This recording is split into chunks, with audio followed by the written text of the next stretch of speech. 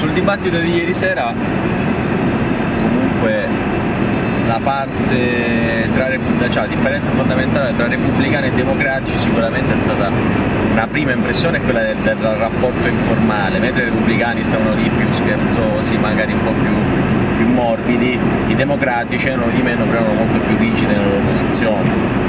I personaggi che personalmente mi hanno colpito di più sono stati per i repubblicani Giuliani e McCain, quelli con il piglio più forte, più, diciamo, più autorevole, in particolar modo McCain che ha, ha demolito Romney delidendolo in continuazione.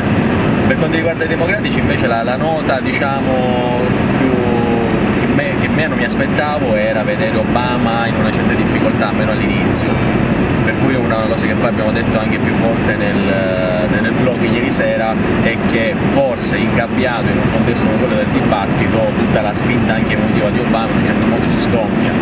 Buona, buona performance secondo me di, di Edwards, uh, discreta quella di Richardson che qualcosa di interessante l'ha detto ma come dire bello inutile nel senso c'è ha nessunissima possibilità di di spostare chissà quanto consenso, mentre Hillary si conferma la, la maestra di ferro. Secondo me Hillary aspira ad avere un modello alla Thatcher, alla Lady di cioè che arriva lei e risolve, risolve i problemi. Però paradossalmente Hillary, al di là dei temi trattati proprio come atteggiamento, sembra una che dice vabbè lasciamo stare il change, lasciamo stare la, la speranza, ci vogliono i fatti, ci vuole la concretezza. Io ho la sensazione che è come se l'onda Obama si fosse scontrata su un piccolo scoglio a un certo punto, cioè questa è la sensazione che, che ho avuto. No? No, però seriamente perché c'è stonda emotiva che veniva dalla vittoria del caucus in Iowa, che era alta, ah, secondo me alla prima prova non dico che ha steccato, però non Vabbè, ha né vinto né perso. La, la, Hillary. la prova la doveva dare la Hillary. Non l'ha, non l'ha attaccata, l'ha lasciata. La prova la doveva dare la Hillary. Due snobbate, le risposte. Però secondo me Obama, no, però aspetta, non dico che dovesse attaccare, però secondo me uh, per l'impatto emotivo che ha avuto col, durante il caucus in Iowa, anche nei discorsi che ha fatto, secondo me era un'onda crescente che lui adesso deve confermare, quindi lui non deve attaccare, deve giocare l'attacco con la Hillary, però lui deve conservare l'onda. Cosa farà? E anche su questo Hillary invece continua a insistere su cosa farà, alla fine c'era poco carisma personale nei, nei democratici, poca, poca, personalizzazione tra virgolette. Invece una cosa che a me mi ha colpito è come il tema del change che ieri riportava il New York Times praticamente ha avuto delle dinamiche simili sia nei repubblicani che nei democratici. Nei repubblicani nello scontro Romney-McCain in cui McCain diceva il change non sei tu che non hai fatto niente ma io che ho appoggiato la guerra, io che ho, fatto, firmato tante leggi, ho firmato qua, contro di te che invece non hai fatto niente. Ed è la stessa dinamica identica che si è ricreata con i democratici, per cui c'è questa, comunque questo parallelismo tra il change, cioè tra chi ha un'esperienza lunga, McCain, Hillary e chi invece cerca di farsi strada.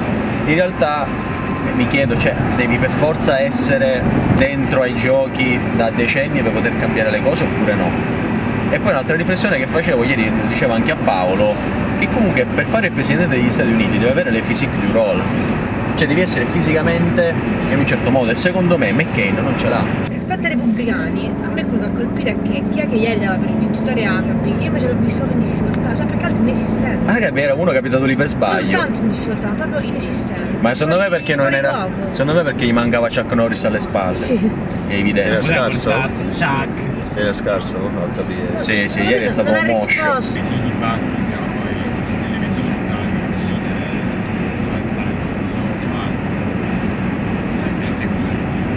Comunque interessante, non so se avevi visto la cosa che tu dicevi, ti ricordi quando siamo stati al caucus dei repubblicani e quello diceva perché Thompson, because just Fred? Sì. Qui ci sono tutti i cartelli, tutti col cognome, e i cartelli sono Fred, ma pure il sito è Fred Zero. New Hampshire Support Fred. Ma qua ci stanno dei nomi, mai... Sì, sì, tipo Duncan Hunter, Duncan Hunter c'era. uno... Rudy. No, io sinceramente sono interessata a vedere di più di Giuliani. Uh, Giuliani finora è l'oggetto oscuro di questa campagna finora. Eh, cioè, A me che è interessante che dentro? abbiamo fatto una specifica domanda ai repubblicani su perché no Obama. Sì. Sì. Io scegliendo Lui. lui come oggetto. Anche si vede che di attenzione. l'emblema boh, del, del cambiamento vero, insomma, quello che rappresenta meglio. Sicuramente è l'elemento più dirompente qui questa Cioè, campagna. alla fine la- quello che facevano ieri Edwards e la Clinton era quello di rubare no? Al- a lui diciamo, quel significato, quel che gli si è attaccato addosso a lui, insomma ce l'ha proprio scritto dietro dovunque va. Ma perché lui è in diventato fronte. sogno americano, c'è un sacco di ragazzi che Sì. dicevano a me sembrava di vedere Kennedy, ho rivisto Kennedy, cioè lui è proprio quello. Per cui cioè, è, è come quelle persone, ci stanno poche di quelle persone che riescono a raggiungere una cosa, e dargli un significato proprio personale, riempirlo di più. Lui è uno di quelli che nelle cose porta, ci porta dentro qualcosa di più a livello personale, appunto, come Kennedy. Per questo sembra che, che gli sparano quando sta a parlare, perché è uno di quelli che personalmente caratterizza. Eh, si è Abbiamo sbilanciata. pensato. Si è sbilanciata. Dillo, dillo. Vabbè, il timore di tutti. Ah, basta! Il timore di tutti è che sparano a Obama. Perché. Fuori di tutti. No, dai, intanto Perché uno, ci due, tre, pensate appena visto. Questo.